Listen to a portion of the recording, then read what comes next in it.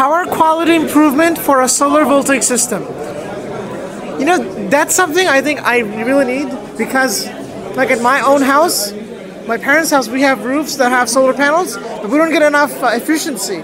So I think it's something related to that. Help me explain. Help me understand what your project is about. Uh, should I start? Okay. Um, our project is a uh, harmonic filter for improving the uh, quality of the output of a solar photovoltaic system which currently has a low-cost inverter installed. Uh, the current inverter's output is not very good quality because of a very high level of harmonic distortion. Um, our project is connected to the output of the inverter, and then loads are connected to uh, to the output of the filter, those loads will be supplied with better quality power than average. Uh, well, to be more precise, better quality power than without the filter. And what results did you observe after? Uh, You had all your simulation, we observed that the output was good enough to qualify to the same standards that wall power has to meet when the utilities generate it. Uh, the input, of course, was far, far below those requirements. And do you have a demo set up over here? It looks like, or s- and that's the system's called Sunrise. Okay, can you explain to me what's happening? So I have signals flowing in. Uh, yes, so basically our red signal is the input that we are getting from the inverter and after it passes through our harmonic filter we get the pure sine wave. That's 60 hertz and according to Canada we need 120 volt 60 hertz. True. And it can be used with the household appliance. Perfect. So, what was the limitation before that you you improved on? Like, what was the problem? Uh, one of the major tasks was to make it uh, really economical because these products are out in the market. So one of our major tasks was to make it uh, really low cost. Uh, that was the main task of it. And then uh, one of the other tasks was to meet the IEEE uh, conditions, and that we did, meet. And that was to keep the harmonic distortion under five percent. And we actually succeeded in that, and our harmonic distortion is about two percent. That's Perfect. really good for the household. So here, power quality is. What does the word power quality mean? Mostly, it's the, the quality of. uh, the quality of the power that you're uh, getting and that your household appliances are using to work on. If the power quality is not good, your devices can blow up too. So in order to uh, make those devices work, you need a really good power quality to keep them working for a longer purpose, uh, for longer. Okay, because you know sometimes I I myself confused between power quality and power efficiency. Power quality would be, for example, maintaining uh, the AC signal to 60 hertz. Yes. Besides many other uh, standards Power that you have to stick to. Is basically the loss in power, how many power we are giving in and what, what we are receiving. True. this. And on the True. hand, power quality is actually the quality of the sine wave that we are getting. Perfect. And what were some of the challenges you had?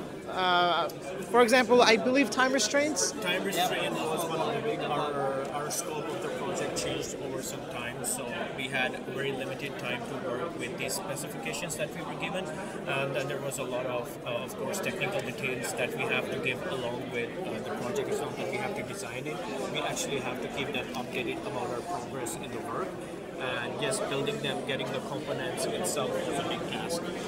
Can you walk me through the components here? Sure. Um, so the harmonic laden power comes in through this. This is basically a consumer power bar Okay. that we've uh, cut in half, and then halfway down the cord, it reaches this circuit board. This circuit board contains uh, two resonators, one of which is designed to pass uh, the 60 hertz sine wave of power, and the other one is designed to shunt away all of the other frequencies that may be present, causing harmonic pollution of the power. Um, so these big components here are the uh, are the two resonators. Um, so five black things and ten brown things is one resonator. Yep. I don't know what level of uh, technicalness you want here. Um, we've got two circuit breakers here for safety, which will turn the circuit off if something uh, goes wrong with it. Um, and then a little bit of a, a solid state switch circuit here, which is designed to reduce the THD of the output. This doesn't look like it's connected. No, Uh, that's not connected at the moment. Okay. Uh, this other circuit board, which is in fact disconnected, uh, will connect through these two wires in order to basically tell this part of the circuit Right. what to do. And then the rest of what we've got here is just uh, a fan and a 12 volt supply for. And you have a heat sink here as well. Yeah, because this can get fairly hot. Otherwise, it would be uh, too much heat for the parts to take. Good.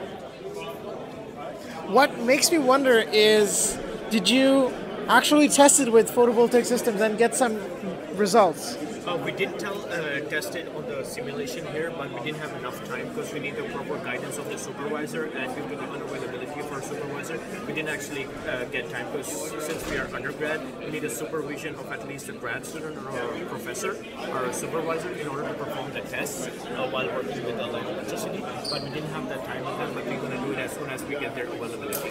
Perfect. But so far, it looks fantastic. The- Yes, it's, it's working perfectly. And the tools you've used, multisim, uh, for code, I believe many people Uh, have used MATLAB. Yes. Perfect. Uh, great. I mean, I, I love this project because uh, this has a lot of practical needs. Yes. Because everybody talks about photovoltaic insta- installations on their roof, but the other factors, the, like you know, efficiency and quality, these are not talked about much. Yes, uh, it has a lot of benefits. Actually, government is supporting people to get it because it's a clean energy source. So uh, government is actually pushing it, uh, moving more towards the solar. So it's an upcoming technology that you'll see a lot in upcoming years. Perfect. Thank you again. You're welcome. Thank you so